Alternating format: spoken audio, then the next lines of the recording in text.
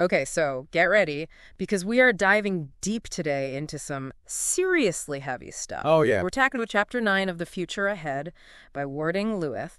And let me tell you, he does not hold back when it comes to exploring life loss and what it really means to thrive. He really just jumps right in, doesn't he? I mean, that opening line, when you are not free, you are already dead, that'll get your attention. Seriously, it hits you right in the gut, especially knowing everything he's been through. For sure. And to come out and say something so powerful right away, you just have to know more about how he got there. Exactly. It makes you want to understand the journey that led him to that realization. And that journey starts in South Sudan.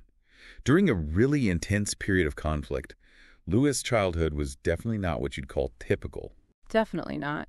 And to think about it, being separated from your family at such a young age, having to deal with violence as a normal part of life, it makes you question everything. It does. Yeah. And the way he talks about being an orphan, even before he really understood what the word meant, that always gets to me. Yeah, it really stuck with me too. You can just feel the immense sense of loss he experienced at such a young age.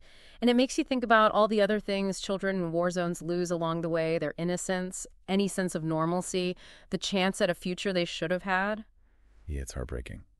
And through all of that, he's wrestling with these massive questions. Why were they killing us? What is the meaning of life? These aren't just philosophical questions for him. They come from a very raw and painful place. It's heavy stuff for sure, but it's also what makes his story so powerful. He doesn't shy away from the tough stuff, he leans right in. And that leads to what I consider a turning point in the chapter when he realizes that only you can help you. That's where you really see his resilience shine through. It's like he's taking back control in a world that's constantly trying to take it away. Recognizing that even in the middle of all the chaos and loss, he still has the power to choose his thoughts, his actions, his own path. Absolutely. And that focus on having a choice, on freedom of thought, it's so clearly tied to what he went through with the war and the oppressive regime. It's like he's saying, you can control where I am, but you can't control my mind. Exactly. And that's a powerful message that goes way beyond Lueth's personal uh-huh. experience. It speaks to anyone who has ever felt stuck or powerless because we always have a choice in how we respond to the world around us. Yeah. And this idea of taking control, of personal agency, it really hits home when Lueth starts talking about how he defines success.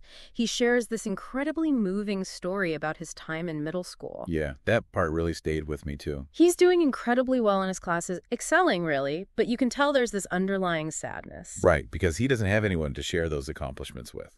His parents, they were victims of the war. It's just heartbreaking, and it really makes you think about the difference between achieving something on paper and actually having those supportive elements to celebrate with. It makes you realize that success, at least the way Lueth sees it, isn't just about individual achievement. Exactly. It's about connecting with others, sharing those achievements with the people who matter most. And it makes the cost of war so much more than just the physical destruction. It's about all those stolen moments, the simple joys of sharing your life with someone you love. And he really drives that point home with a tough question. He asks us to imagine seeing the person who killed your family but not being able to do anything about it. It's a lot to process, but it forces you to confront the fragility of life and makes you appreciate the things we often take for granted, like simply having loved ones around. It really does put things in perspective.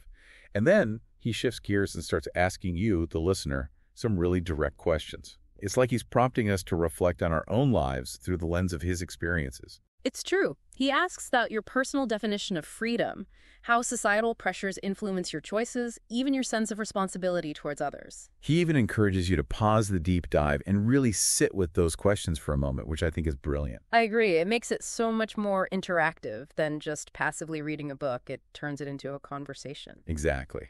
And that active engagement is key to understanding Lueth's perspective on success, how he sees it as a moving target. He talks about 1985, 1992, and 1996, three really pivotal years in his life. And at first, he viewed these years as periods of failure leaving home, missing the opportunity to go to that prestigious boarding school, and facing setbacks in his chosen field of study. Right. And it's easy to see why he might have felt that way back then. Absolutely. But then he does something really interesting. He looks back on those experiences later in life and completely reframes them. What he initially saw as failures, he later recognizes as opportunities for growth and finding a new direction. He talks about how leaving home, even though it was incredibly hard, ultimately opened up new possibilities, gave him a chance to define success on his own terms. It's such an important point to remember. Our definition of success isn't fixed. It changes and grows along with us. What might feel like a failure in one moment can end up being a stepping stone to something even better down the line. It's like those tough experiences forced him to reconsider what was truly important and ultimately put him on a path more aligned with his own values and aspirations. And that leads to another interesting question for all of us. How do we define success in a way that feels true to ourselves, even when we hit roadblocks? That's what Lueth really wants us to think about. Moving beyond those traditional markers of success and figuring out what it truly means for each of us, individually. It's about recognizing that success isn't a finish line. It's an ongoing process of growth, adaptation, and self-discovery. And that brings us to what I think is the most powerful part of this whole chapter. When Lueth says he's thriving on my terms. It's such a short statement, but Yeah. man, it's powerful. You can really hear the resilience in his voice, his dedication to creating a life of purpose and meaning and doing it his own way. It's not just about getting by. He's actively shaping his own story. Right. It's like he's taking back the power that was stripped away from him, not just by the war, but by all those societal expectations that try to dictate what success should look like. He's basically saying, I get to decide what success means for me. Exactly. And that message resonates with everyone, no matter who you are or where you come from. It means success isn't some predetermined finish line. It's about finding what truly matters to you and then living a life that reflects those values. So, as we wrap up our deep dive into Lueth's world, what's the one thing we should take away from all of this? What's that one golden nugget? I think Lueth leaves us with a really thought-provoking question. And It's Yeah. one I hope everyone listening will take some time to consider. If success isn't about reaching a fixed point, if it's more about how we understand our own experiences, then how does that change how we choose to live our lives? It's a challenge for sure. Letting go of those external measures of success and redefining it based on what truly matters to us as individuals. Absolutely. It's about learning to embrace the journey, every twist and turn, and finding those moments of joy in the process of becoming who we're meant to be. And realizing that setbacks are just part of life, they don't have to define us. Exactly. It's about our resilience, our ability to adapt and grow, and ultimately to define success on our own terms, just like Lueth.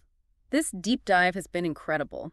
Lueth's story really highlights the strength of the human spirit to not just survive, but to truly thrive, even when facing unbelievable adversity. Absolutely. He reminds us that we always have the power to choose how we respond, how we define success, and how we want to live our lives, even in the darkest of times. And on that note, we'll wrap up this deep dive. If you found this even a little bit thought provoking, I highly recommend checking out The Future Ahead. And remember, success isn't a destination, it's a journey. And it's your journey,